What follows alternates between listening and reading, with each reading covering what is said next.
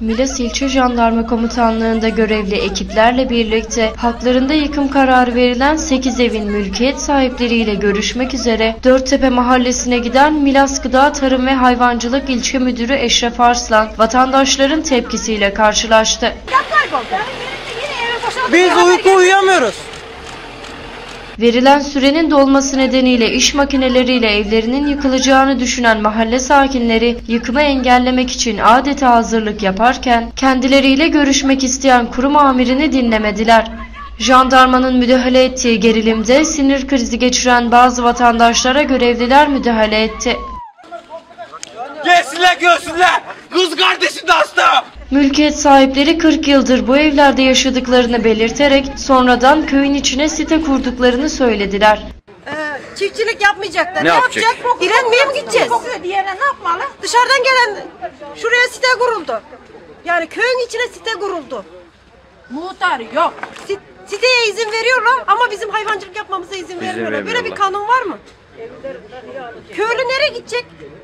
Milas Gıda Tarım ve Hayvancılık Müdürü Eşref Arslan ise 3091 sayılı Mera Kanunu gereği işgal edilen yapıların yıkılması gerektiğini, bu doğrultuda 2886 sayılı kanunun 75. maddesi gereği Milas Kaymakamlığı'nın talimatları doğrultusunda işgal edilen mera alanındaki yapıların yıkılacağını söyledi.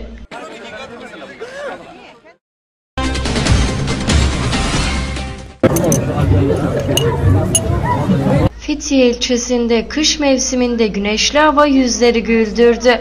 Kordon boyu sahili yürüyüş ve parkta oynayan çocuklarla dolarken kafeterya ve restoranlarda oturacak yer kalmadı. Fethiye'de etkisini gösteren soğuk hava yerini güneşli havaya bıraktı. 4 gündür yaklaşık 18 dereceyi gören ilçe merkezinde vatandaşlar kordona akın etti. Sahil bandı dolup taşarken bazı vatandaşlar da kafeteryalarda oturdu. Kordon boyunca neredeyse adım atılacak yer kalmazken çocuklar parklara akın etti. Sıcak havayı fırsat bilen ebeveynler deniz manzarası eşliğinde güneşli havanın tadını çıkardı.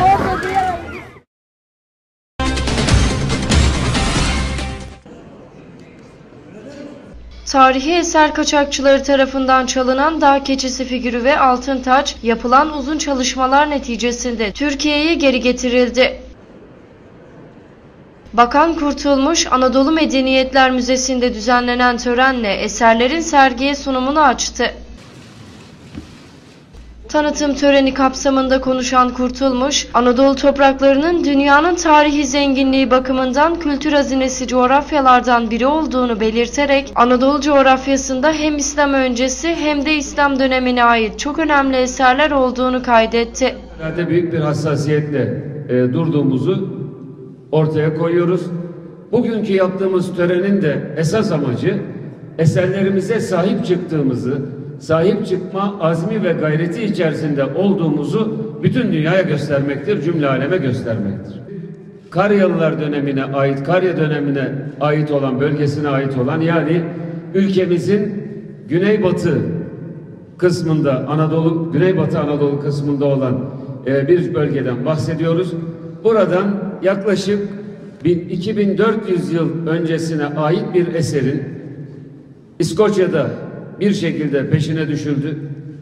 Mahkeme süreçleri açıldı ve sonunda ilgili taraf mahkemeden vazgeçtiği için yani kaçak eser elinde bulunan taraf mahkemeden vazgeçtiği için mahkeme Türkiye'nin lehine buna karar verdi. Türkiye'ye ait olduğu tespit edildi ve geçtiğimiz hafta Türkiye Kulak burun boğaz uzmanı Doktor Bülent Halil Havza, soğuğa bağlı yüz felcinde erkeklere tavsiyede bulunarak özellikle erkeklere tıraş olduktan sonra 10-15 dakika dışarı çıkmamalarını öneriyoruz dedi. Yüz felcinin e, bir sürü nedeni var. E, Nedenlerden e, bir tanesi bel paralisi dediğimiz yüz sinirinin özellikle yüzün bir bölgesinde yarısında olan hareket kısıtlanması söz konusudur. E, Bu nedenle özellikle bu içinde bulunduğumuz kış aylarında e, soğuk havanın böyle bir şeye neden olabileceği düşünülerek bazı şeylere dikkat etmekte çok büyük yarar var. Özellikle e, atkı ve bere mutlaka e, dışarı çıkarken takmalı. E, ıslak banyolu dışarı çıkmamalı. Araba camlarını mümkün olduğu kadar e, hava akımını aşırı derecede e, hava akımını e, olmayacak şekilde ay- ayarlanmalı. Özellikle erkeklere e, tıraş olduktan sonra bir 15-20 dakika dışarı e, çıkmamalarını öneriyoruz. E, bunun dışında baş ve yüz, baş ve boyun bölgesinin uzun süre aşırı rüzgara maruz kalmamaları, kalmamalı. E, ani ısı değişikliklerine maruz e, kalmamalı. E, bu tür e, tedbirlerle e, kışın belki soğuğa bağlı olabilecek bir takım e, yüz felci hadiselerini ortadan kaldırabiliyoruz.